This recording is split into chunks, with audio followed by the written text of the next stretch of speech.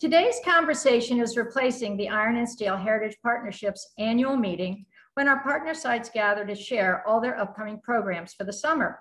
We had hoped to welcome our guests from the Iron Bridge Gorge in Shropshire, England, to meet with us in person last year, but the worldwide pandemic stopped that.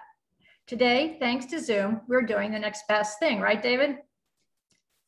Yes. The Iron and Steel Partnership was formed in 2009 to attract visitors to and educate residents about our region in northern Chester County and adjoining counties outside of Philadelphia, which boasts the longest history with and connection to the iron and steel industry, and which has the largest collection of historic forges and furnaces located in concentration in this country. The steering committee is formed by representatives from the National Iron and Steel Heritage Museum, Hopewell Furnace National Historic Site, the Schuylkill River Heritage Center in Phoenixville, Historic Yellow Springs, Warwick County Park, and French and Pickering Creek Trust. We are also being joined today by our sister organization, the Rural Heritage Confederation. To guide us on our journey, I would like to introduce David Blackburn, who is also a member of the steering committee and now new director of the Landis Valley Village and Farm Museum in Lancaster, PA. The museum is administered by the Pennsylvania Historical and Museum Commission. David came to Landis Valley in October 2020 after 34 years with the National Park Service and five and a half years as site director of Hopewell Furnace National Historic Site, where I had the happy occasion to meet with him as he replaced Edie Sheehan Hammond, who helped to create the Iron and Steel Heritage Partnership. Brief introduction to David's very, very um, learned past. He has a BA in anthropology from the University of Arizona and a master's in cultural resource management from Sonoma State University. Originally from Palo Alto, California, David now wisely calls Exton, PA, Chester County home. He will introduce the program and our guests. Thank you, David. Thank you, everyone. Thank you for the kind words. And to all of my uh, colleagues in uh, Heritage on uh, in southeastern Pennsylvania and the other side of the Atlantic in the UK, uh, good morning or good afternoon and, and welcome. Um, after several cancellations uh, due to the, the pandemic, we're all thrilled to be here with you um, today. Um, my name is uh, David Blackburn. Um, nothing like starting a new position in the midst of a global pandemic, but I come here after five and a half years at Hopewell Furnace, and uh, much of the reflections and information I'll be sharing with you is a result of having an opportunity to travel to uh, Shropshire and to the Iron Bridge Gorge World Heritage um, area as a result of an international travel grant. Many of you joining us today are part of our um, Iron History family. Keep in mind what I'm sharing with you is from my own research and from coming of the perspective of managing uh, a Pennsylvania 18th and 19th century uh, iron plantation. Some of your perspectives may be different, but we look forward to this uh, being a, uh, the start of an engaging conversation in um, our shared links across the Atlantic with iron history, as well as um, in, engaging and deep conversations in how we tell the story. You'll be seeing them in a few minutes, but I'm absolutely thrilled to be co-presenting with my uh, colleagues from Iron Bridge Gorge Museum, Museum Trust um, senior curator of the trust, uh, Georgina Grant, and director of collections and learning, uh, Gillian Crumpton. You'll be meeting them in a few minutes. So let's go ahead and uh, get started. I will share my screen. Uh,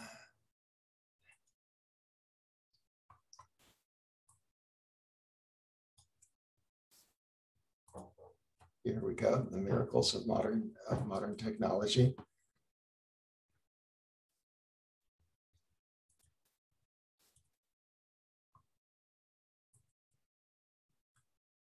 Let's see. Can you see the PowerPoint presentation? Yes, but the slides are along the left. Okay. There we go. Perfect. And are we seeing the correct, the correct view? Yes. Okay, great. Um, well, uh, today we are exploring uh, the British and uh, American um, iron um, connections. My uh, journey through this uh, travel grant took me to this uh, fabulous locale that you see on the screen. Um, iron Bridge, the world's first and oldest um, iron bridge spanning the Severn River and the Severn River Gorge. Um, it's amazing to know that as the world's first iron bridge, it's still with us um, today, uh, serving the purpose that it did when it was first um, constructed well over 200 years ago. Uh, the foundation for this uh, program really follows along two broad uh, themes and ideas. Um, one is exploring how does this iconic bridge and all of the resources and businesses associated with it connect to our um, colonial um, iron story here in Chester, Berks, uh, Lancaster County in southeastern Pennsylvania. And the other um, point of exploration that I'll be sharing with you is how is the iron story interpreted and told to the public um, in England? And more importantly, how can we learn uh, in our region from some of their practices in telling the story? Uh, these are the questions that drove my uh, 10 days of travel and my, my quest to um, Iron Bridge, uh, Iron Bridge Gorge. Again, uh, for those of you who are uh, within the industry, I am coming to you from the uh, from the perspective of Hopewell Furnace. Oops. So I'm sorry, uh, somehow we are at the end of the presentation. So if you will bear with me a moment.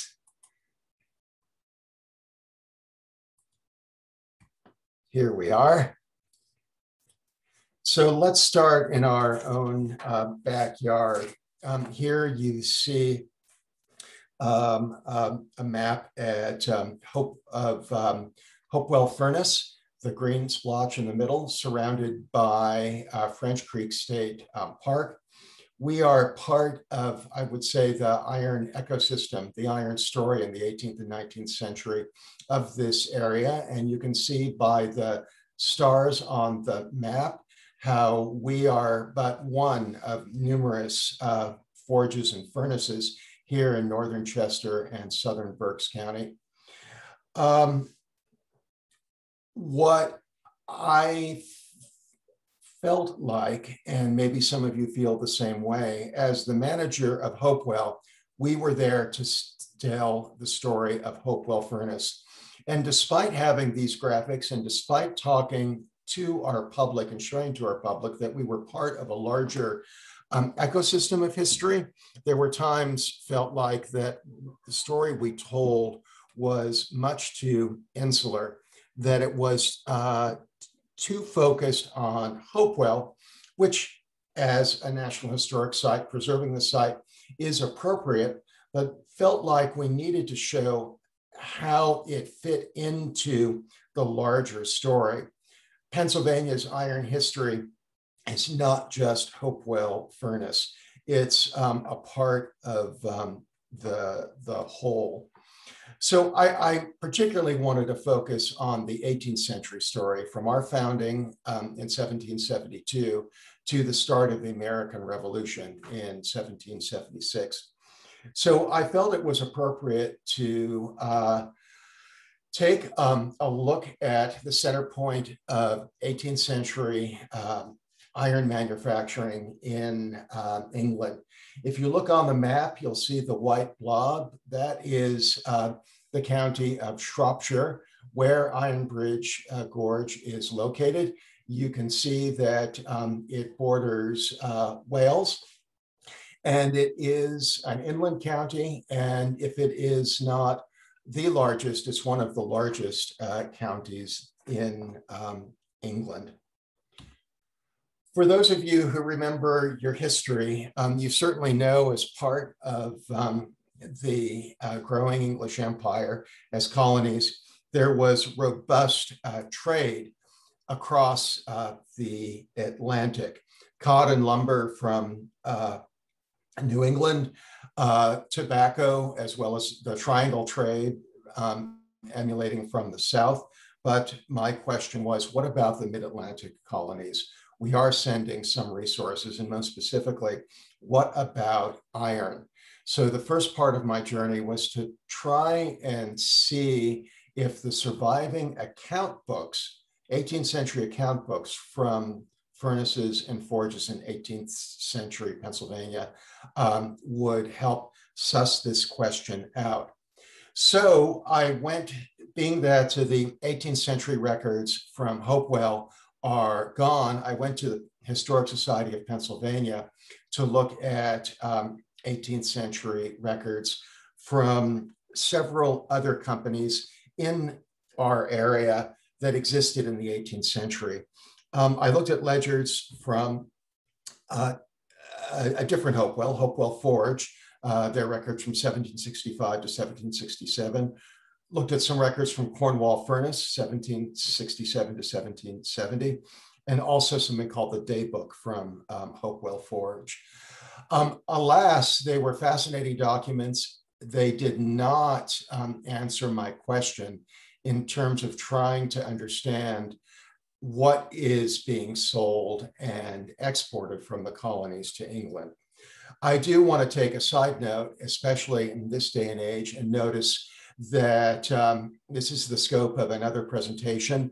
But here in um, 18th century uh, Pennsylvania, um, it's very possible that there were um, enslaved uh, Africans that were enslaved uh, individuals that were working in the iron industry. What you're seeing on the screen is uh, from a summary page from an account book. And you'll notice that all of the names are prefaced with the word uh, Negro. We do know um, as we go through time that Hopewell and very likely other stops become, other furnaces and forges uh, become documented stops on the Underground Railroad. We also know in the early 19th century that Hopewell Furnace uh, supported um, a population of workers that were not enslaved but free. So for as fascinating as this was, as I said, it's uh, worthy of more uh, research, and this is for um, another, uh, another presentation. My uh, journey took me uh, to this rather nondescript um, building. Um, for the 10 days I was in England, I was granted uh, visiting scholar status with the University of Birmingham, specifically with their Heritage Management and World Heritage Studies uh, program, the um, Iron Gorge um, Institute. And it was from here that um, I used the resources of the library and I um, explored uh, the wonders of Iron Bridge Gorge. But uh, because we are blessed today with um, Gillian and with Georgina, uh, I will be uh, signing off for the time being and will be turning the presentation over to Gillian and Georgina to talk about the resources, uh, their work at the Iron Gorge uh, World Heritage Area, as well as within the Iron Gorge Museum Trust. So uh, Gillian and Georgina, go ahead and take it away. Hello, I will just um, share my screen with everyone.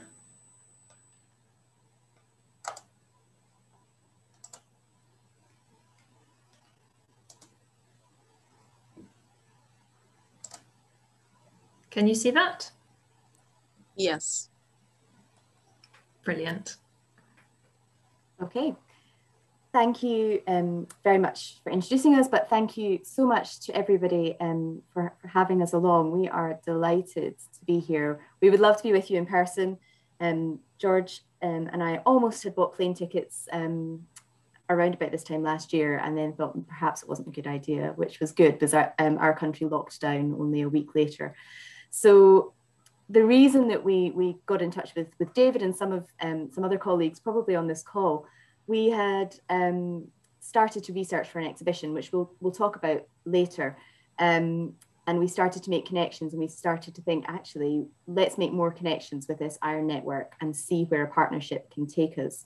So um, as david said my name is gillian crumpton. I'm the collections and learning director for the ironbridge gorge museum trust. I've been with the museum for 13 years which is unbelievable to me. Um, i studied museum studies and um, modern history um, at st andrews university. Um, modern history for us though is from 1450 to the present day. So that's what we we call modern history in, in our strange um, strange language that we have.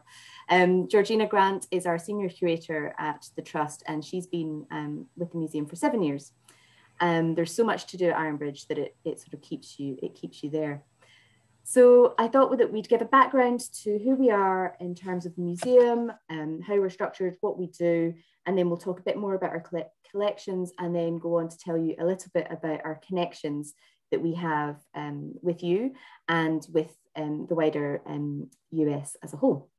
So the Ironbridge Gorge Museum Trust um, Limited was founded in 1967. I think George has got the next slide, there we go. Um, we're a registered charity and an independent trust. Our twin aims are education and heritage conservation. Our vision is to be a world leading museum of industrial heritage. Our mission is to operate with entrepreneurial flair and creativity in order to inspire and engage people in the world changing story of the Ironbridge Gorge World Heritage Site. We welcome around 450,000 visitors per year um, to, the, uh, to our 10 sites and around 60,000 school children um, to our education programs and, and workshops and site visits. We have a workforce of around about 160 people and about 360 active volunteers who work with us on a number of specific projects from research, collections management to maintenance work, and also on a day-to-day -day basis as costumed interpreters at one of our sites. Um, and they also support and welcome visitors at some of our other sites. I'll just say before George moves on to this, uh, moves on from this slide, this is um, one of our key images um, from our archive collection. It is by Francois Vivares from 1758, and it shows our Coalbrookdale in Shropshire. So the middle, um, the biggest bit of smoke and steam that you can see in the middle of the picture is the old furnace, which we'll talk about later. The Coalbrookdale Company commissioned this as a as a showpiece, as a showing off what all the all the innovative things that they were doing. So on the right hand side, you can see piles of coal being burned to turn them into coke for the blast furnace. On the left hand side, you can see a beam engine cylinder that the Coalbrookdale Company um, were one of the first to, to make. And in the, the background, you can see some houses, and this is where the Darby family um, stayed. As I said, one of our key images that we, we, we like a lot. Thank you, George. So we look after 35 scheduled monuments and listed buildings within our portfolio. This means that they have statutory protection within um, British law. We are within the World Heritage Site of the Ironbridge Gorge and we run um, and open 10 museums. These collectively tell the story of the birthplace of the Industrial Revolution in England, um, as well as the 10 museums. The sites in our care include a research library, we have tourist information centres, two youth hostels, archaeological monuments, historic woodlands, domestic houses, two chapels, and two Quaker burial grounds. So something for everyone, I would say. We generate our income primarily from visitors and um, through ticket sales and secondary spend, but we have key grants um, through um, a couple of organisations, but the most important being Arts Council England. We are what's called a national portfolio organisation for Arts Council and as such receive an annual grant. But we have to reapply for this um, every three to four years and meet um, a lot of different criteria and fit in with their strategy. We also received some funding from a sister organisation, the Ironbridge Heritage Foundation. They own some of the property that we manage um, and they administer a grant to us um, on a regular basis. In normal years, we have an all year round operation with some sites closed in the winter. We have a lifelong learning programme with workshops and visits for schools, group visits and adult education. We work with care homes um, as a dementia friendly museum. We work with social services and um, vulnerable young people. We also work with those providing care for early years, so the under fives market. We also run large scale events like fireworks, Halloween and Christmas events to generate income. Our collections, um, all of our collections in the Ironbridge Gorge Museum Trust are designated of national importance. So this is a national designation. They are displayed in and alongside a series of internationally important buildings, sites and monuments, and together enhance um, our understanding of Britain's industrial revolution, which in turn shaped the modern world. We like to claim a lot of things at Ironbridge. Everything in the modern world started with us. In presenting a story of industrialization to the public, we interpret objects in the context of their historic setting, and we actively seek collections and archive material to reinforce our understanding of the area and its sites and monuments in terms of the Industrial Revolution. We've developed significant holdings over our 50 year history, and these range from archaeological and archival materials, engineering products, decorative items that include decorative metalwork and ceramics, social history collections, and textile collections, some of which relate to the Quakers um, that were living and working in this area. And it was in 1997 that our collections were designated of national importance. And here you can see a pic of some of our, um, what we think are rather beautiful um, collections. So you've got some of the decorative ware and then the cast iron pot, which is one of our key items in, in our um, cast iron story. The importance of the Ironbridge Gorge um, as, a, as an area was recognised um, in 1986 by UNESCO as it was designated a World Heritage Site. The two primary monuments for this designation um, were the Old Furnace and the Iron Bridge. So the Old Furnace represents the, both the beginnings of industrialization and the significant breakthroughs in iron making made by Abraham Darby I and the Coalbrookdale Company that followed in the 18th and 19th centuries. So the Old Furnace was on that first slide that I showed you. And this is where Abraham Darby first started to smelt iron with coke as a fuel instead of charcoal and made a commercial success of it. The Iron Bridge, as you can see here, it's painted in its new um, livery. It um, has undergone a major rest restoration project, um, which finished last year, just at the beginning of last year. Um, we actually, although we're the Ironbridge Gorge Museum Trust, we don't own the Iron Bridge, um, but we um, look at, we own the toll house, which is on top of the Iron Bridge, but it is one of our centerpiece um, items, of course, that we talk about. It is the most famous product um, made by the Coalbrookdale Company, and it was the catalyst for the architectural use of iron and steel, which shaped the landscapes that we see around the world.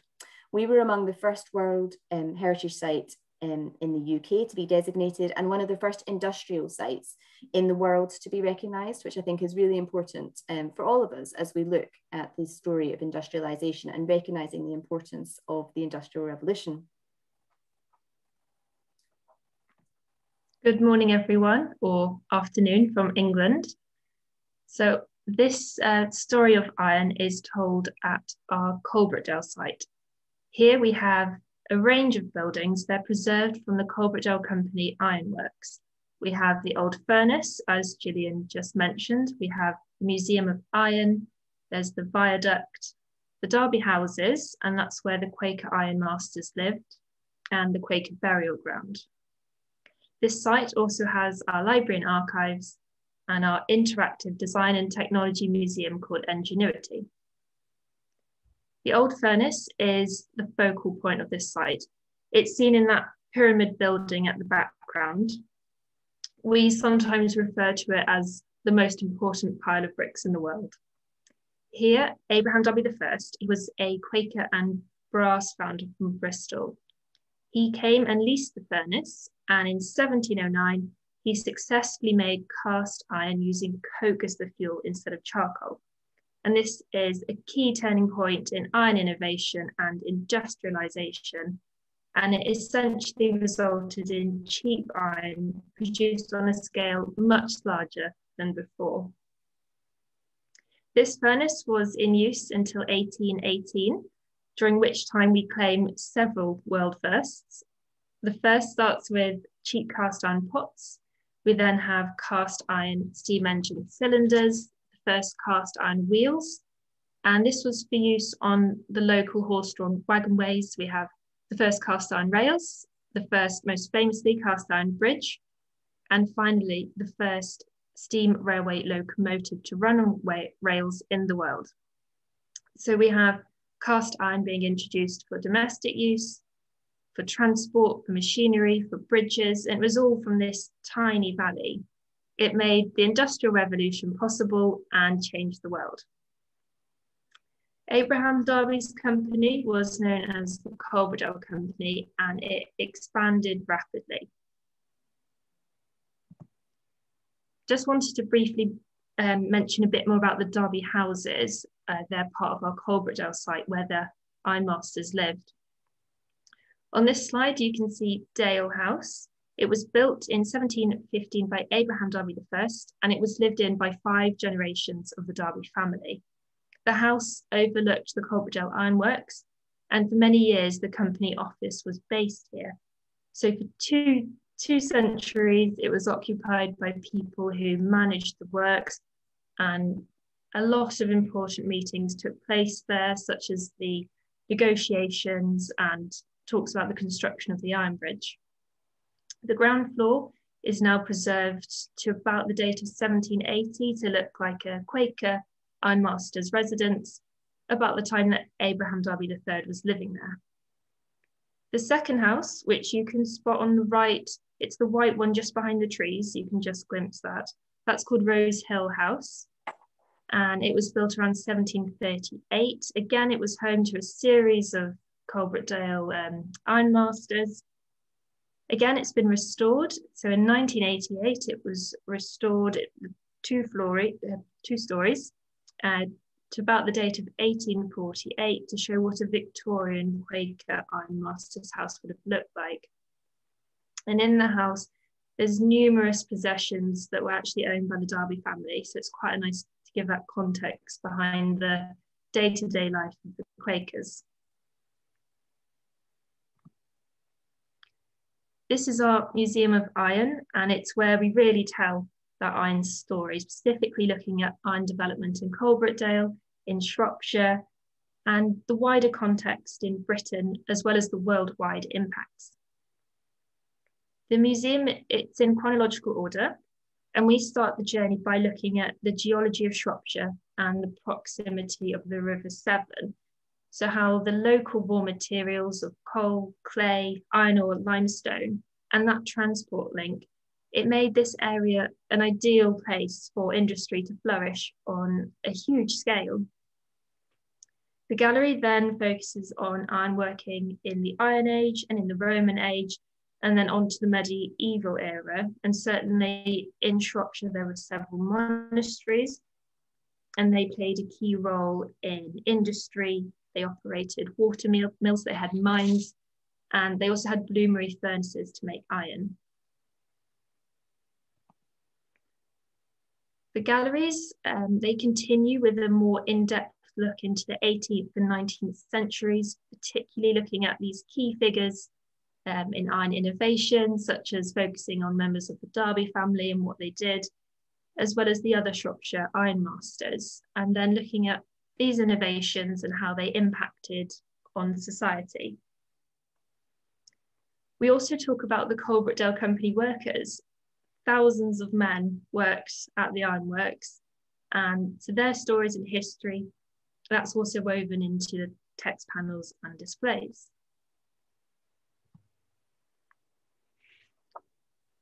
In terms of how we interpret that history, we use a layered interpretation approach, which is different interpretation for different audiences. We have the traditional text panels, and we also have child-friendly panels. Um, these feature a drawing called Rusty. He's a dog, and he's based on this decorative iron table in our collection.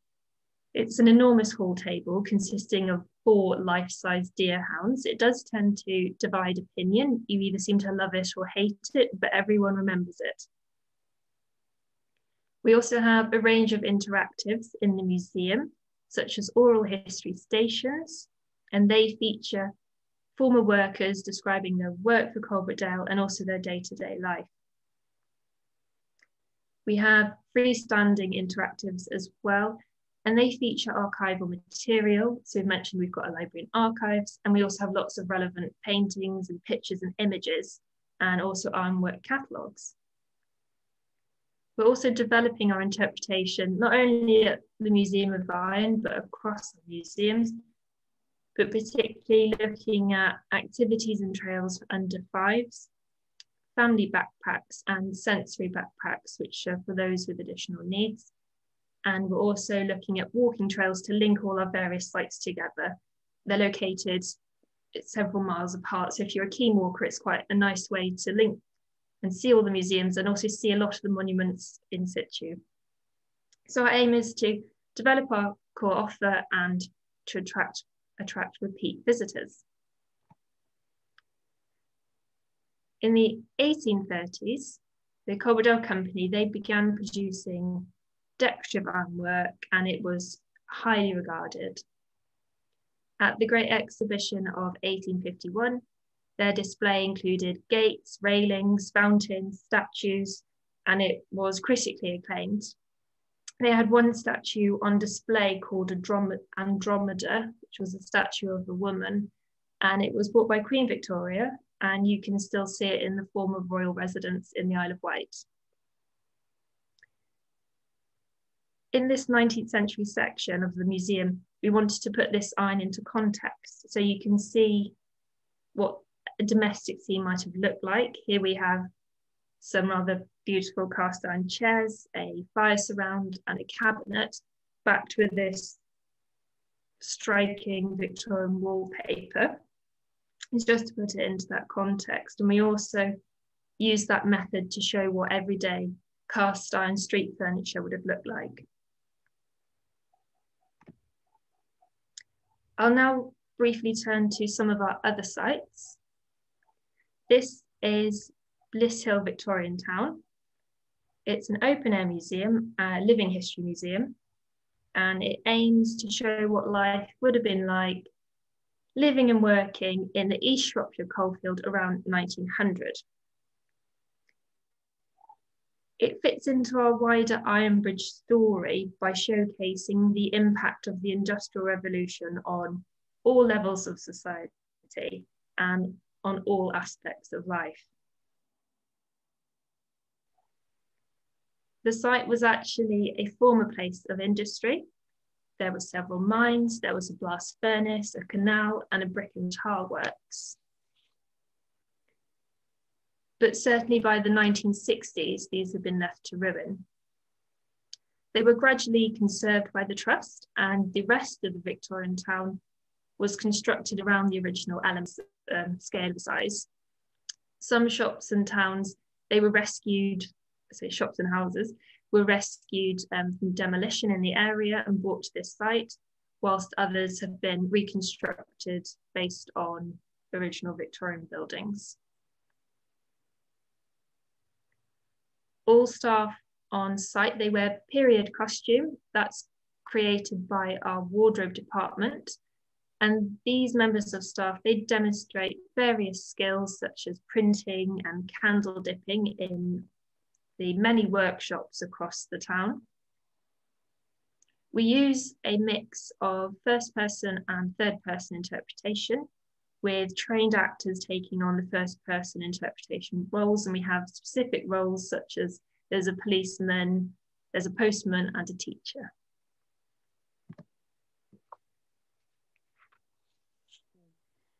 So at the opposite end of the gorge from Coalbrookdale and the heart of the ironmaking developments, we have a collection of museums, so just a couple of miles um, down the river, which focus on the ceramics industries of the gorge. And we thought we'd just tell you a little bit about them to give you an overall sense of, of the full um, story of Ironbridge.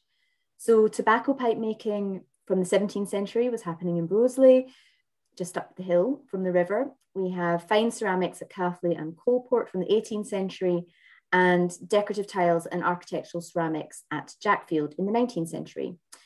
Craven Dunhill and Co. and Maw and Co. factories were at the centre of this industry. Maw & Co was at one time the largest decorative tile works in the world, and its impressive neighbour Craven Dunhill is now the Jackfield Tile Museum. That's the, the building that you can see here.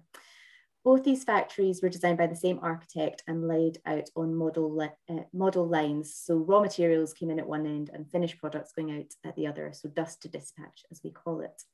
Maw & Co and Craven Dunhill & Co made tiles that were transported around the world and used to decorate homes, hospitals, pubs and shops in Britain, a train station in New Zealand, a bank in South Africa, palaces in India, and public buildings throughout the United States of America. The Industrial Revolution in Britain, combined with rapid architectural fashion and changes in, in fashion and a new concern for public health and hygiene, led to the revival and rapid expansion of the tile industry in the 19th century. It was a marriage of beauty with utility, and at the centre of this industry was the very small town of Jackfield. We've had a recent addition to Jackfield Tile Museum, and this is the John Scott Collection. It's one of the finest um, private collections of mid 19th to mid 20th century um, English decorative ceramic tiles in the country. It comprises of around 1,200 individual tiles and just over 300 tile panels and represents the work of some of the best known designers and manufacturers of the period. John Scott was a property developer in London and he began collecting tiles in earnest in 1968. Since then, he had amassed a collection that covered all the major designers of the period from 1830 to 1930 and some beyond that. In addition to significant works by William de Morgan, there are tiles and panels by A.W.N. Pugin, Christopher Dresser, William Morris, C.F.A. Voysey, Edward Bawden, and John Piper, to name but a few. In addition to this, almost the entire range of manufacturing methods are represented, which makes the collection really important for those interested in both style and technique. As I said, John was a, a property developer um, based in London, although had been um, from the, the um, just a county above Shropshire. That's where he was originally from. And he was very keen that not everything should be held in London. And he helped us negotiate the purchase of the museum building in 1983. And after that time, and until his death um, last year, he was a strong supporter and advocate for us, declaring that he wanted Jackfield to be the greatest tile museum in the world, which is only a small bit of pressure for the curators at our um, site. He donated his entire collection to us in 2012, and we transformed an empty gallery, which had originally been the faience department for Craven Dunhill in the original factory. In the gallery, we have tried to recreate um, a, a, collection from a collector's point of view and to give the, the sort of feeling of John's house. Um, I visited his house and this is this looks a little bit like um, one of his living rooms. And we've also included all of his comments about the individual tiles alongside this, um, alongside each um, tile so that you get his perspective on the collection. So that's the, the ceramic side of the world that we also delve into. But we, like most museums, create and host temporary exhibitions. So this brings us back to what I mentioned at the beginning in how we became connected with David and some of our other um, American colleagues. We wanted to explore the links that highlighted the connections between the Ironbridge Gorge and America during the 18th and 19th centuries. Originally, we were doing this to mark the 300th anniversary of the founding of Pennsylvania's first blast furnace at Coalbrookdale and to create an exhibition featuring original archives and objects and to start to forge connections with um, who, what we view as our sister sites in, in the States. Connections were forged between Ironbridge and America in 1720 with the founding of um, the blast furnace in Pennsylvania. Quaker blacksmith Thomas Rutter, who built this blast furnace, one of his partners um, was Thomas Bayliss, who had recently arrived from England he had been a clerk at our Coalbrookdale Ironworks, and he was the brother-in-law of Abraham Darby the first. So he was right at the centre of the action at, um, at our side of the pond. The American furnace, of course, we well we believe, um, takes its name from um, the successful furnace that Darby was operating, and so was called the Coalbrookdale Ironworks. Our exhibition is also going to look at the importance of the network of the Society of Friends, the Quakers, the trade between the two continents, not only in pig and cast iron, which is really crucial for the the 18th century um, part of the story, but also looking um, further than that, looking at the decorative tile and ceramic exports um, from the Ironbridge Gorge in the 19th century.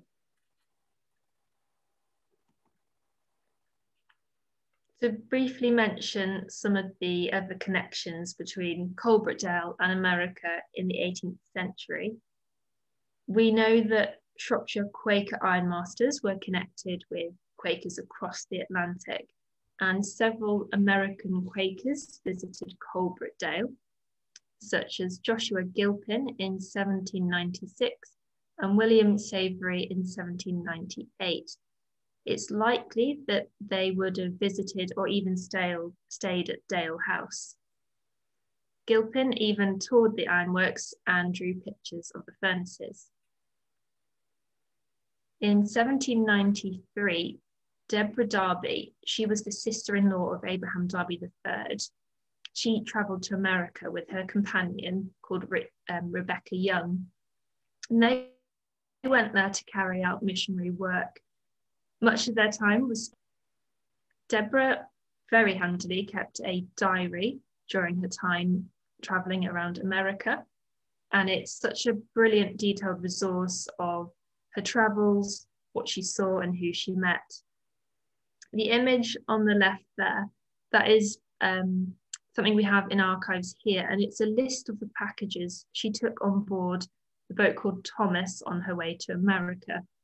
It includes a lot of food such as eggs, gingerbread, nuts, cakes, and meat, but also alcohol, clothing, and interestingly, two armchairs for the trip.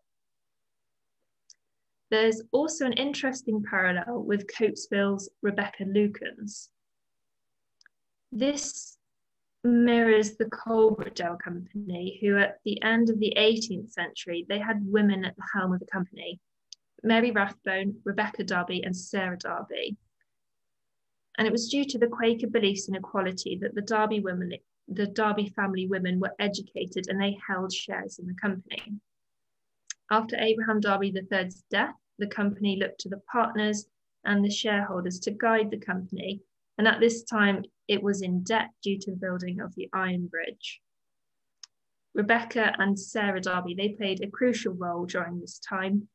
And this period of management became known as petticoat management. Furthermore, in 1802, led by Sarah Darby, this is when the Coalbrookdale Company was responsible, responsible for building the world's first steam railway locomotive. And then just to have a quick look at some 19th century connections. And these tend to include the international exhibitions, the export of products, and particularly tiles to America.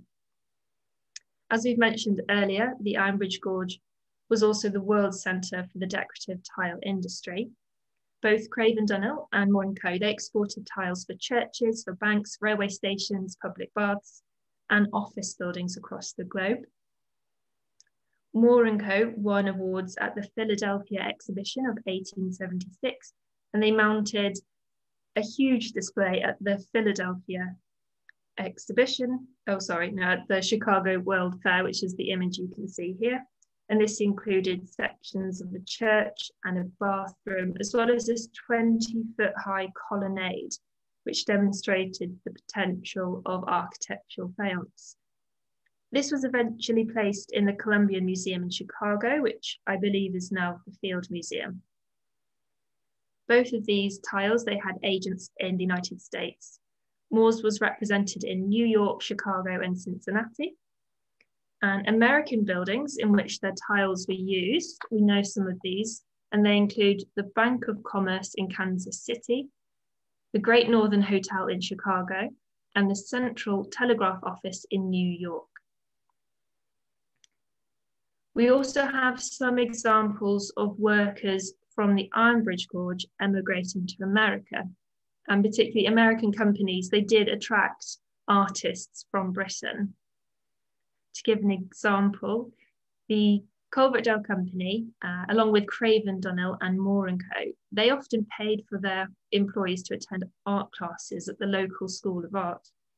And records show that these students, they went on to work in the local industries of iron and ceramics, but some did go further afield. And there was a chap called Cecil Jones. He attended this school of art. He was very successful. He won lots of medals. He was a highly gifted designer. And in 1913, he moved to America to work at a tile factory as a designer in Ohio. And we know that by 1930, he had moved to Los Angeles, where he was working as a ceramicist. And then also in the reverse, we know of at least one American working for the Coalbrookdale Company, and that was at the end of the 19th century. He was called Edward Squire, and he was born in New York. He was a Quaker, and his uncle was the managing director of Coalbrookdale. So I suspect it was those connections which drew him back well to England and to work for Company. Our exhibition is due to open, all being well, in February 2022, and we're currently developing this research. But one of the important parts of this exhibition and our ongoing research is to build our partnerships and our iron network, which is why we're so thrilled to have been invited to this meeting and just thank you so much for having us.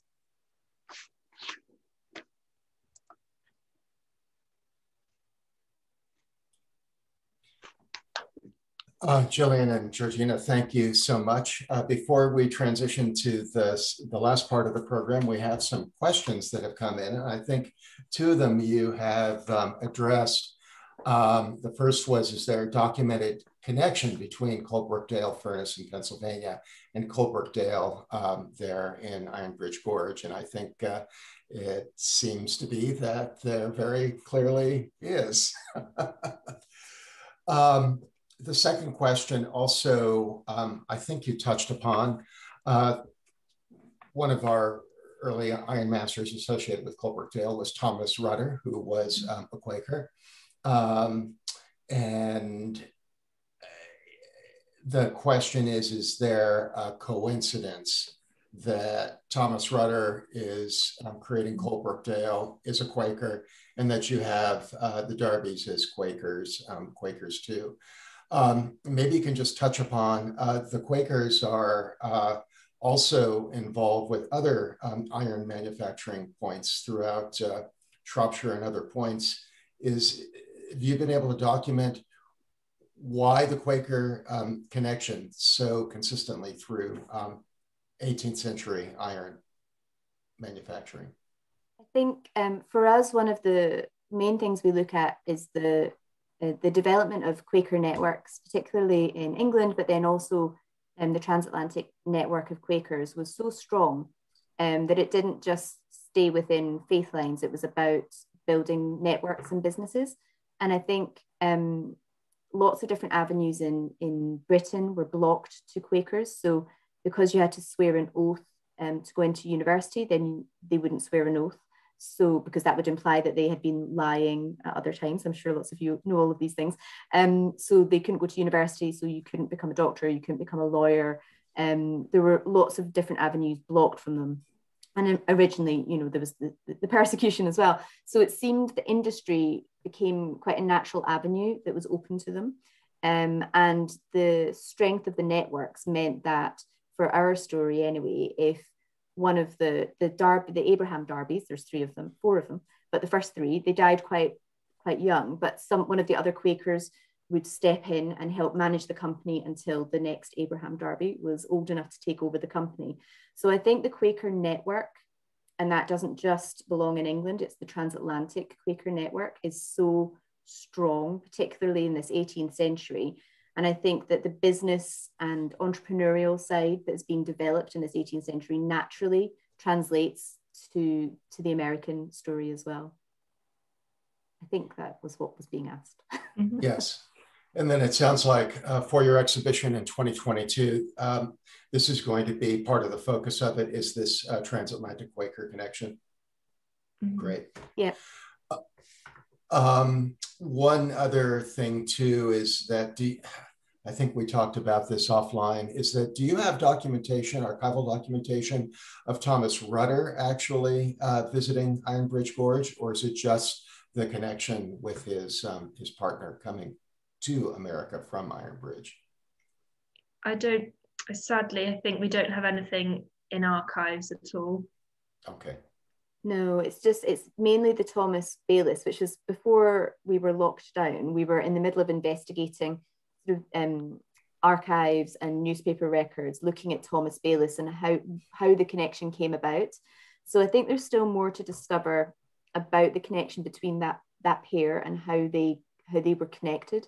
Um, but that's something that we're still looking into and happy for anybody to offer up any little nuggets of information for us. Okay. Um, uh, next question is, when was the old furnace built and initially operated? So we believe that it was built in 1658. So the Brooke family, they were um, ironmasters in Coalbrookdale before the Darbys.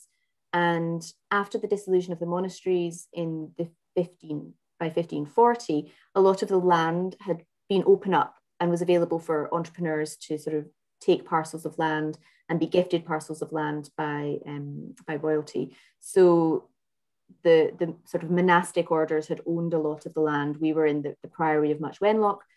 And um, so the Brooke family moved in, they were able to buy up different bits of land and they actually re-engineered the landscape of Coalbrookdale for industry. So there are pools of water that have been built all the way down the valley to get to the river. And they were all built by different generations of the Brooke family. And then there was one person in between the Brooke family and Abraham Darby, whose name was Shadrach Fox, and he operated the furnace. And we believe he was trying to smelt iron with coke as a fuel, but he didn't make the commercial success of it, which is why Abraham Darby gets the credit. And I think there was a large storm in um, 17, no, 1705 i can't remember the dates now i shouldn't I shouldn't guess dates um which the the fern the dam wall exploded and the um collapsed and the and the furnace exploded so um shadrach fox um left pretty swiftly after that it was a bit too much to deal with um you mentioned um, a diary kept by um is it uh, rebecca darby on her trip to um, deborah darby Deborah trip to America. Um, is that uh, diary digitized and available for viewing online? It is. It is digitized. Is it digitized well, in it's a sensible fashion? It's a um, it is. It was a book. Um, a. I happen to have a copy of the book on my desk. Of Deborah Darby.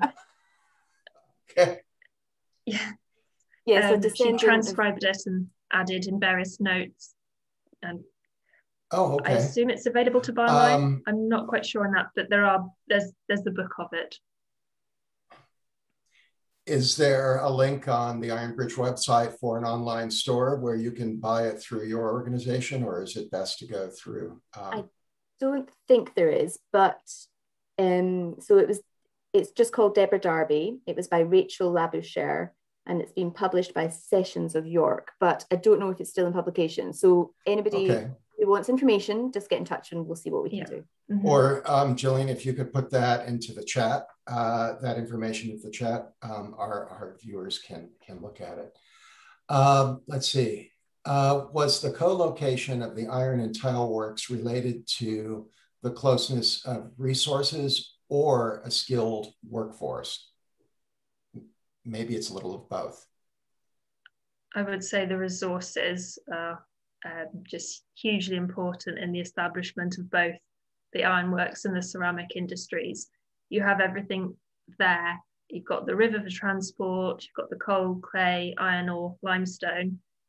It's just everything you need really for your industry to develop. Um, but the area did attract workers from further afield, but the majority of the workers were local. Yes, and then finally, the, the, oh, go on. I was going to say that the Coalbrookdale itself was a very small hamlet, and it's so up when you get to about mid seven, I think it's about 1758. It talks about it starting to flourish with the community, and sort of a, a couple of a few hundred people are living there by that point.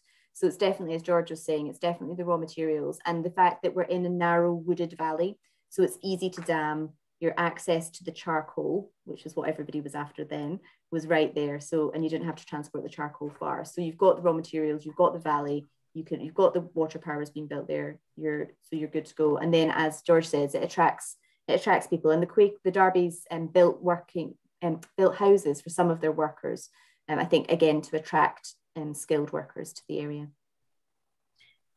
We have a very specific question. Uh, this would be for you, George. Uh, do you have any archival info about Robert Robert Grace visiting the ironworks in England? Do you know off the top of your head? I I don't know. I'm afraid off the top of my head. Um, it might be mentioned in. So a few of the Darby women actually kept diaries, and um, they note who visits. So I can certainly have a look, but yeah, I'm not sure off the top of my head. We have two uh, just general com uh, comments of good presentation. Connections of Quaker heritage and industrial heritage are fascinating. Thank you. Um, someone else states that they visited Iron Bridge Gorge in 1975 as an exchange student and in oh 1986 with my then new husband. Can't wait to return in 2022. Uh, final question before we go to the final part of the program. Are there any drawn construction plans of England's Coalbrookdale furnace that may be used, that may have been used when blast furnaces in Pennsylvania were constructed? hmm. There are some, there was a visitor, um, I think he came from Sweden, I want to say, George will correct me, Angerstein, mm-hmm. who I think was an industrial spy who came to look at the works. And he did a, an early sort of sketch of Coalbrookdale, but how far that was used and, and how much, how widely spread that, that became, I don't know. There were then some um, later engravings and um, imagery of in the sort of 18th century blast furnaces. I'm thinking of a smelting house at Broseley and um, inside of a smelting house but they weren't um, sort of technical drawings per se. George, do you have anything to add? No, I no, I'm afraid I can't add much more. I don't. It's hard to say.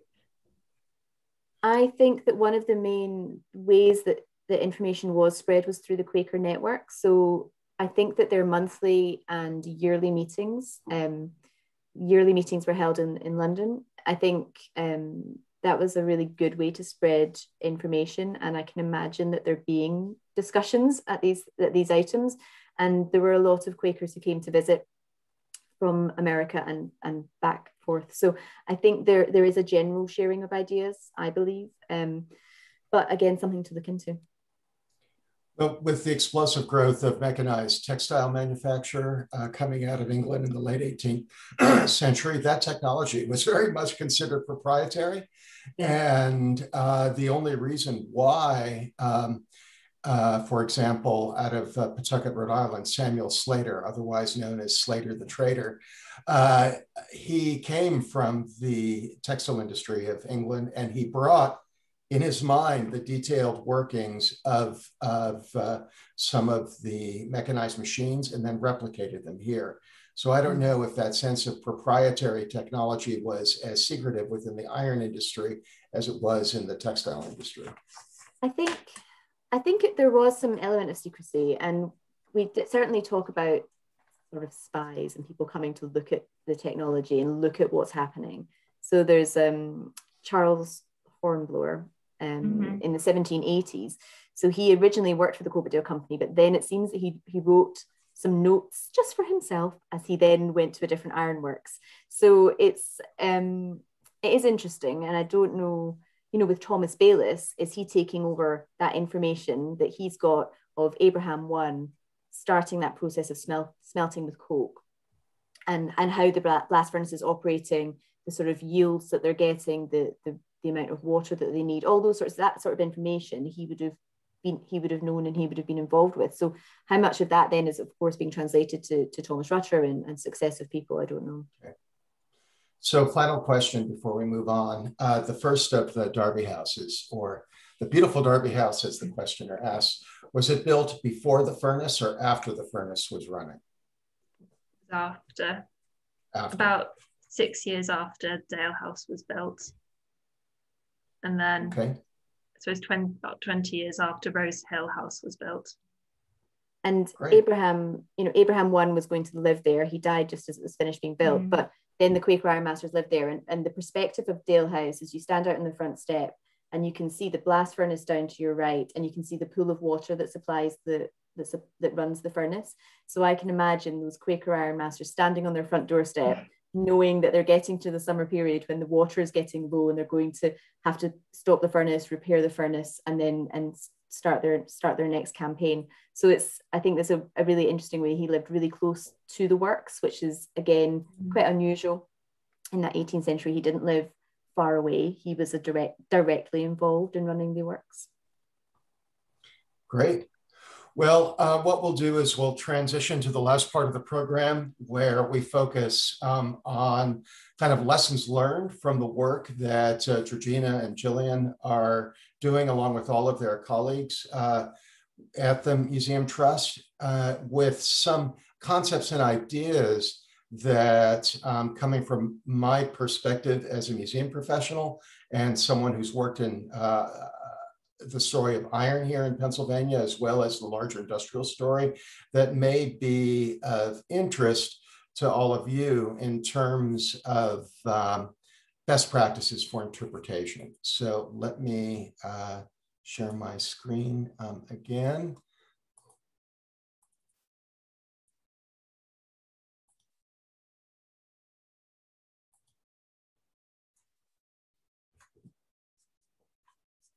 Okay. So, um, best practices and lessons learned. One of the things that David, we're seeing the two Oh, screens if you want to swap sorry. display. That's okay. Uh, Here we go. One of the things that, um, although Iron Bridge Gorge has tangible and physical elements in the landscape that go back to um, early iron making, what I walked away from was their attempts to put what happened in Iron Bridge Gorge into a larger local, regional, and international context that it was more than just what happened in Shropshire in Iron Bridge Gorge. And through their exhibitions, they helped to connect it to a larger story. So let me give you an example of the way it's done in the landscape. Is that outside the boundaries of the World Heritage um, area, but within uh, the area of the Iron Bridge Gorge, there are two former um, abbeys that are connected to um, the iron story, uh, pre-industrial connections of iron. The first is from the 13th century, um, according to uh, a publication published by the Shropshire History, um, Iron Gazetter. Uh, here at uh, Abbey, there was um, iron, uh, an iron manufacturing point, probably um, a bloomery but it's 13th century. And interestingly enough, they are, as Iron Bridge was in the 17th and 18th century, taking advantage of the resources that are right there adjacent to the um, abbey to uh, create iron for their use. Um, another abbey, a Much Wenlock, um, in some documentation from when the uh, priory uh, was dissolved by Henry VIII in 1540, it was recorded that there were two foundries um, on the site of uh, Much Wenlock. So again, it's uh, priory taking advantage of the resources to be taking advantage um, in the 18th century by uh, the priory. Uh, the documentation that was accessible to me didn't state whether it was clergy or layfolk that were um, operating uh, this, but uh, the operations were there.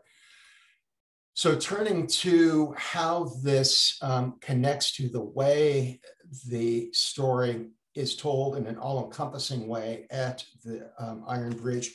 One is the very first thing that you see in their galleries is not are not exhibits proclaiming the glories of Iron Bridge and the Darbys, but they go to the very beginning, the core elements that all of us connect to on either side of um, the Atlantic on the iron story. It goes to the elements that are needed to create iron. Um, so you see here uh, exhibits that focus on fuel, coal and the iron ore itself. You also see uh, flux and limestone uh, highlighted there. And then because industrialization in the valley goes beyond um, iron to clay, you can see they talk about the raw ingredient of um, clay. One of the things that I really appreciated, and this goes back to uh, the Priory, is that you're putting the iron story into a larger context of the ingredients. And then there are exhibitions that talk about uh, Much Wenlock, the Priories, iron uh, within the context of uh, the late Middle Ages, but also it goes back to the classical period, to the Bronze Age, to the Iron Age. One of the things I appreciated here is that they show that metallurgy and iron is part of the larger human um, story. I find that interesting in that maybe I don't want to make assumptions with what some of you do, but we delve directly into Hopewell furnace or other furnaces. This is Hopewell. This is what they did. We never talk about what they're using, the core ingredients. This is iron, this is charcoal, this is coal. Some of it is delved with in uh, personal services and programs we do on site. But here, the orientation first starts um, you and immerses you into um, a much larger story. You can see it in the landscape by going outside of the gorge to see these ruins, but we know that within museums in the Philadelphia area, you can also see examples of metal coming from pre-European contact um, civilizations in the Mississippi River Basin and other parts of um, North America. It's a large story, but I believe it is a lesson that we can learn um, in terms of expanding how we interpret our iron story and how we tell that story to the public. The other thing is that throughout the Iron Museum, you can see um, iron is iron is only made in stars much bigger than our sun. Um, it's there are panels throughout the museum that connect to children and families that connect in simpler language to um, this larger story here. It connects to where does iron coming from. But if you'll notice, they take advantage of uh, the, the pooch here that uh, Georgina uh, mentioned. I found it um, fascinating in that it is a direct relation to an object in their gallery, the Deerhound uh, table from 1855. As uh, Georgina said, you love it or you hate it. I loved it, and I love the fact that they took an object on display of iron and used it as a visual clue for um, a journey with uh, families through, um, through the site iron in our lives. Many of us um, in Iron Heritage in our area uh, display and talk about the implements that were made uh, for the consumer at the forges we preserve. Um, what I felt like Iron Bridge did is that they told the story more broadly with uh, more direct interpretation. And more importantly, as you've already seen with this cast iron at home, although Hopewell and Cornwall and other furnaces are not producing domestic ironware as you see here from uh, the 19th century. I don't have a picture of it, but iron the Iron Museum shows the use of iron in our urban environments all the way through the 20th century. They show a post box, a mailbox. They show a cast iron light standard. They show a cast iron uh, bench. This may not be appropriate for all of us, but it helps to show the journey of iron in our lives through time and the journey of iron beyond any one individual, individual site. It may not be appropriate for all of us, but it very much um, is appropriate for the story that Iron Bridge um, is telling.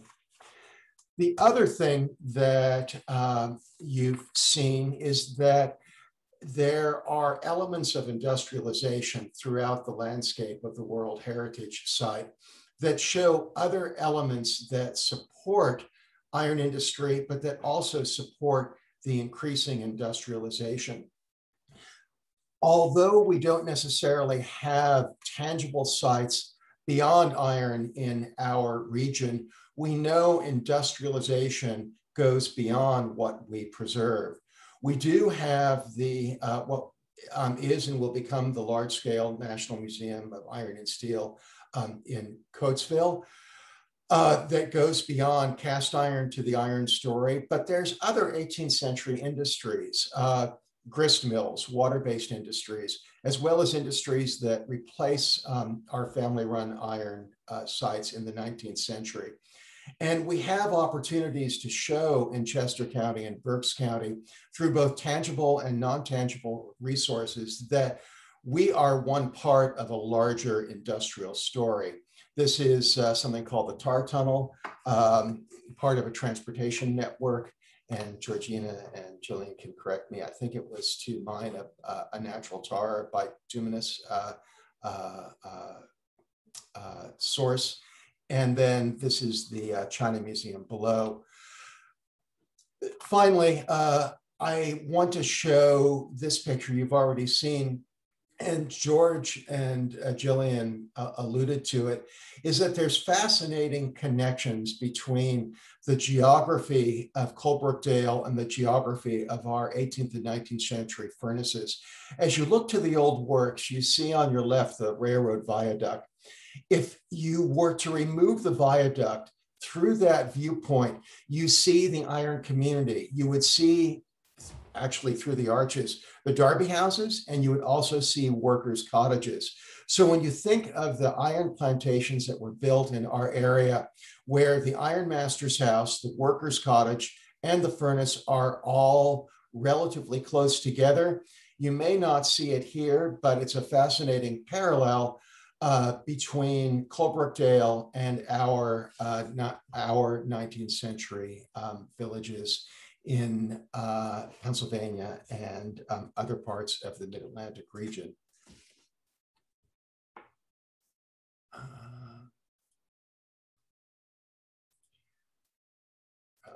Here we go. And I want to mention just on a personal note, the Jack uh, Field Tile Museum, I found this a very surprising and engaging way of um, immersing you into another part of the industrial story. I, I, I told them that you uh, come from the for the iron and you stay for the ceramics. Um, having somewhat of a background in decorative arts, I was absolutely enthralled by this story, and partially because it was so surprising, but also aesthetically um, beautiful. When they talk about Craven and Dunhill's work, here's examples that they have on display. You do see it in the United States, but it also emulates the ceramic, decorative ceramic tile um, industry that uh, developed in the United States. The museum, as it immerses you in iron, it immerses you in ceramics, and that there are rooms with entire ceramic tableaus that were manufactured for um, 19th century businesses. This would have been for um, a butcher shop. This would have been for um, a pub. And then this is decorative um, tile work for um, a bathroom and then for a commercial institution. So again, it's not necessarily appropriate for us, but it's an opportunity to think about how do we put our institutions in the context of larger industrialization within Chester and Berks County. The final thing I'd like to um, uh, focus on was uh, something that I wanted to investigate, and that was, can we find documentation of imports and exports in the 18th century to and from England uh, from our area. And I'm happy to say that National Archives of England in Kew has digitized their import and export records. And I was able to capture the records of which I'm about to show you a brief sample of from 1768 to 1773. Uh, the first is our pages that are uh, an account for a single year of exports from North America to ports of Great Britain between January 5th, 1770 and January 5th, 1771. If you look on the left um, column, you'll take note of ports throughout uh, colonial North America. And I have um, focused on Philadelphia in the middle. If you look above, you will see uh, a partial listing of some of the items that are um, exported. Uh, let me see if I can zoom in so you can see this a little better. Here you can see uh, uh, listings of dried fish, pickled fish, flaxseed, wheat, uh, ginger, ginseng, cotton, um, dozens and dozens of materials that were exported from uh, the colonial ports to England.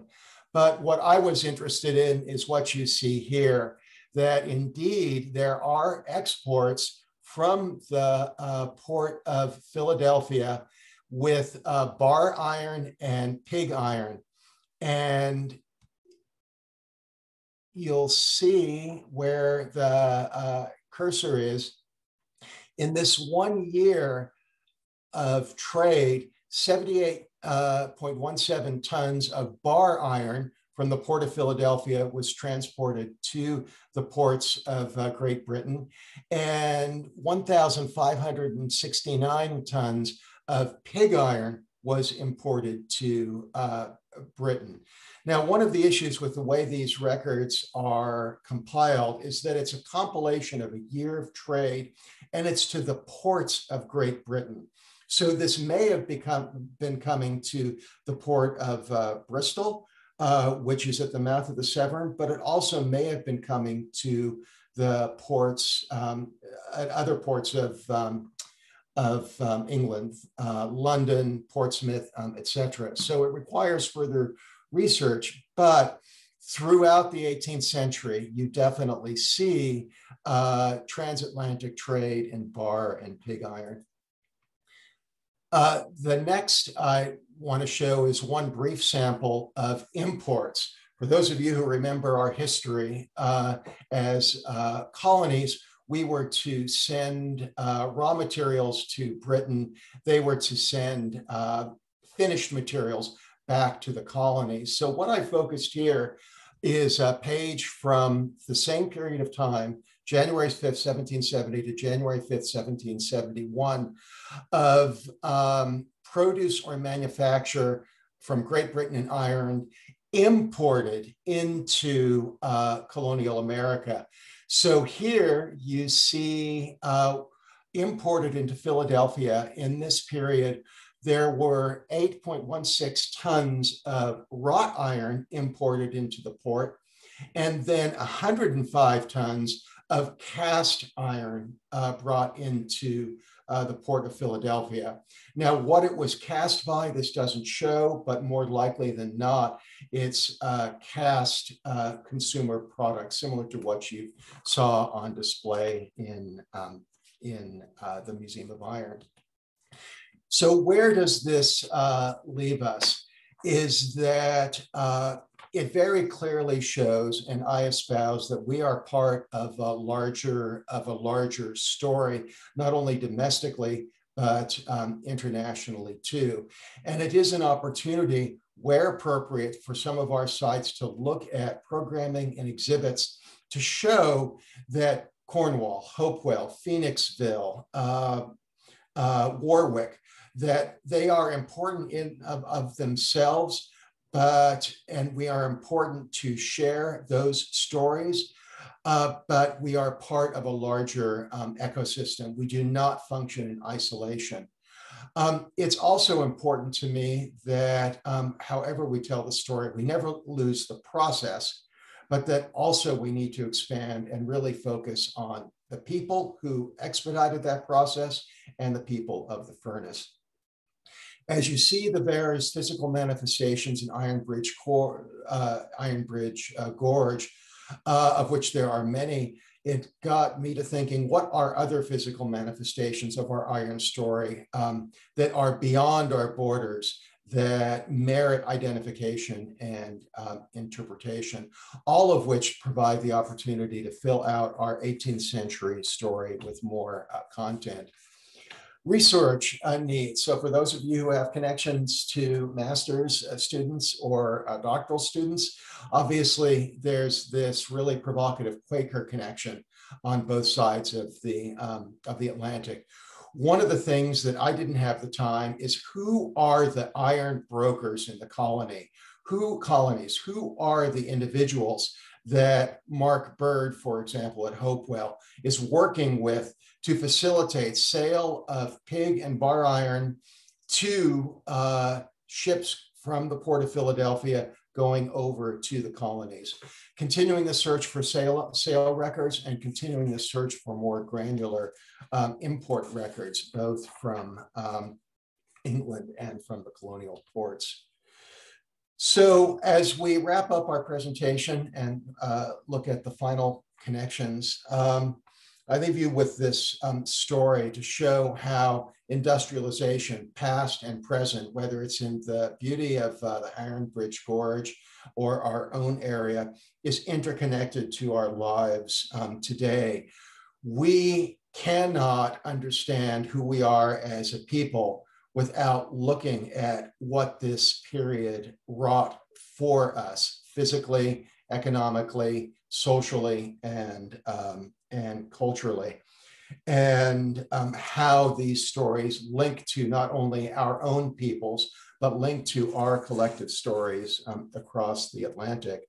So as we turn to uh, the setting sun on the lands above Iron Gorge, looking at not only the beautiful countryside, but uh, signs of 21st century technology and uh, uh, industry. I hope this opportunity gave you a chance to show the linkages across uh, the Atlantic and the provocative nature of the uh, iron making landscapes between southeastern Pennsylvania and uh, Iron Bridge Gorge in Shropshire.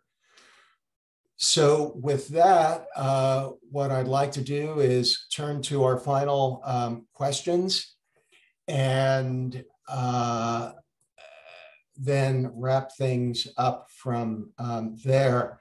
So for uh, Gillian and Georgina and myself, one of the things that we're, and then for my colleagues in this area, and then for uh, my colleagues at um, Hopewell, uh, Hopewell Furnace, um, uh, Mr. Jeffrey Jones and uh, Mr. Neil Koch, if you're on, on the line, is um, a broad question is what are the additional uh, collaborations that are possible in the future?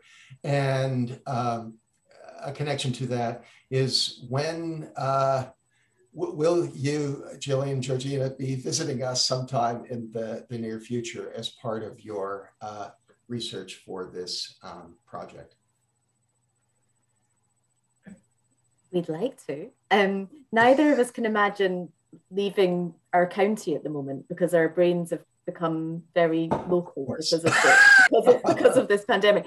But um, I'm really hopeful, depending on how things go, we'd love to be able to visit this autumn, this fall use, I'll use your language. Um, but it just depends on, on how it goes. So all being well, we will try and come and see you and we will be bothering you all, trying to get more partnerships and working together. Um, and we're looking at, um, I know we've been in discussions with, with some of you already about um, possibly borrowing um, loan items for the exhibition, for example. Um, so I think, um, and then there's a question about sort of wider collaborative work. I think that um, one of the things that we're just keen to, to explore is what what are the opportunities?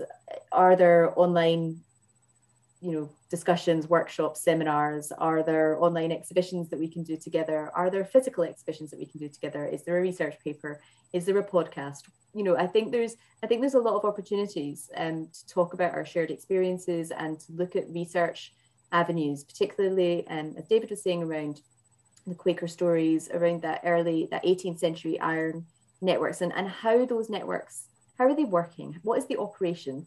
And, and really to sort of draw those out. So I think there's some, I think there's a lot of work in our futures together and um, we'd be delighted if anybody got in touch with us about that.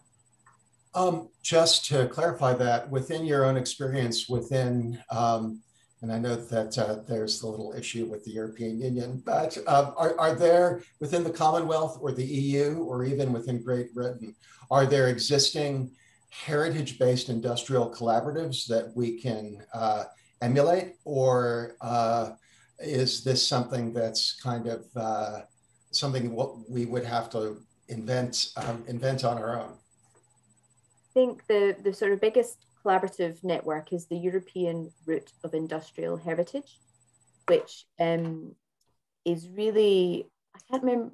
We were one of the founding members of the of the organization. There's a lot of um, iron and um, industrial sites, particularly in, in sort of continental Europe and Germany um, in particular and around. So there's, there's a good group there that look at industry, they're looking at how to create sort of routes and how to create partnerships. So there's a little bit that we can take from them.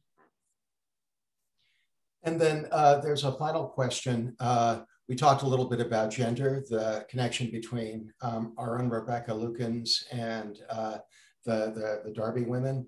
Do you go beyond that and link uh, the larger story of women's suffrage to the development of, of cook stoves and other um, iron-based conveniences uh, for uh, the kitchen? And, and, and make that broader connection to uh, changing social roles, changing expectations of work, those, those kinds of things? Or is that uh, too broad of a focus for the limited space of the museum? I would say that we probably cover that more at Blists Hill. In um, uh, our, our curator there has developed a, a women's history tour. So I su suspect that she covers that um, in there. But we also just commissioned a piece of research about women working in the industries of the gorge. So somebody to do that census research for us to look at who were the women that were working in the industries of the gorge and you know was it a solely a man's world where were the women doing the, the sort of hard labor as well and we've got some really interesting stories about um, the shropshire pit girls who were um, collecting um, ironstone it was a really hard dangerous um, difficult job um, there was a rope maker who was a woman. There's there's there's good examples of women working in the industries. We've also started looking at disability within the industrial workforce, both in terms of um, disability that happens as a result of working in the industries, but also people who were working in the industries and who already had a disability. And there's some really interesting findings that, that are coming out of that work too. So we, there are some broader things that we're trying to do. Um, just a question of wow. time more, more opportunities for transatlantic uh, collaboration and cooperation. And then finally, um, the nonprofit that works with Hopewell Furnace, the Friends of Hopewell Furnace, is in the process of, um, of um, publishing a book on Thomas Rutter, and they would love to get um, that uh, a copy of that plate, the picture that you showed of the Coalbrookdale uh, cast stove, stove plate. So I guess uh, Georgina, we or Gillian, we can connect them uh, to you to uh, procure that. Yeah. Um, I think we have two things marked in our collections, marked Coalbrookdale, your Coalbrookdale okay. as opposed to ours. So there's the the door, which I mm -hmm. think I I'll we'll find the information as to where we got it from because I think there's an interesting story about where it came yeah. from. Um, and then there's some. What's the other thing that we've got, George? Something to do. It's a, a um, it's a whole um, essentially something used to hold a flat iron. But it says cold um, on it. So maybe there's two pictures. and so finally, uh, maybe this is something that's uh, more particular, keeping note of the, the time frame. Um, going back especially to the earliest point of 17th century work, um, do you have documentation of indentured uh, servants or enslaved peoples um, having worked anywhere in uh, the iron, any facet of the iron industry? Not enslaved peoples. Um, there's some, there'll be some sort of indentured people, and I think we have some records. I couldn't say off the top of my head. Um, George, I don't know if you No, I'm not sure. Okay. I don't think so. Okay. Well, with that, um, I just want to extend my huge thanks and um, uh, gratitude, uh, Gillian and George. I know it was a revelatory opportunity for me to interact with you and interact with the resources of, of Iron Bridge. It really uh, broadened and changed my perspective. And although I'm no longer at um, Hopewell, our collection here at Landis Valley includes uh, German manufactured from the 19th century uh, cast uh, stove and cast iron from the Lancaster County furnaces that uh, developed uh, in the post-revolution period. So um, it seems as if I can't get away from iron. And uh, Karen, to you and your colleagues with Chester County Planning Commission, so my, my, our hats off and our gratitude to you. Well, I just want to thank you all. And Georgina and Gillian, please let us welcome you next fall. Um, we, we, I, I, we'd love to have you join our Iron and Steel Heritage Partnership. It will bridging the Atlantic. Um, I'm, I'm, sure more will come of this. And David, thank you so much. He kept telling us this was an opportunity we just couldn't miss, and and it certainly was. It was just a wonderful, wonderful morning or afternoon to spend with you. Thank you. And we, we look forward to introducing you to the culinary pleasures of our area. Oh, yes. Uh, cheesesteaks, scrapple, pretzels, and uh, the like. you had us at cheesesteaks. We're we'll yeah. be there. Can't wait. Thank well, you again so much. We'll everyone. be in touch. Thank you for everything, and uh, bid Thank you, you for having uh, us. farewell. Thank, you. Thank you very much.